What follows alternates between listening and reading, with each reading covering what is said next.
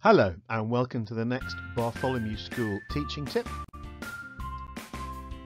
This is tip number 33, circle the question. So, for this you put together a list of questions, not too many, between four and six I'd say, questions which are um, things which rely upon the students to have some prior knowledge and understanding. They might be things you touched upon at the end of a unit you want to go through and make sure they've got them. The students circle at the questions they feel they would not be able to answer easily.